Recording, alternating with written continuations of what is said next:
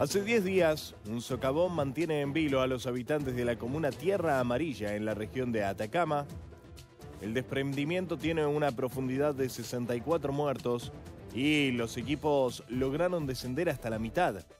La imagen muestra un cilindro casi perfecto de más de 37 metros de diámetro. La forma casi cilíndrica del socavón es producto de las aguas subterráneas en circulación y la composición del terreno con alta cohesión del suelo, lo que forma paredes prácticamente verticales, señaló Cristóbal Muñoz, director de la Red Geocientífica de Chile.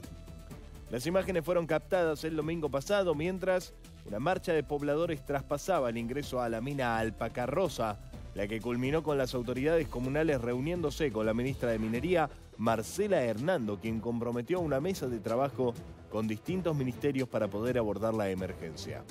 Nuestra comuna es una zona de sacrificio. Detrás de ese hoyo, detrás de ese socavón, hay una triste historia de vulneración de tierra amarilla que tiene que haber salido a la luz para que por fin podamos tener una solución, fue lo que enfatizó el alcalde Cristóbal Zúñiga. Hasta el momento, ninguna hipótesis está siendo descartada, por lo que la causa de este hecho aún es materia de investigación, procedimiento que tardaría al menos 30 días aproximadamente en comprobarse.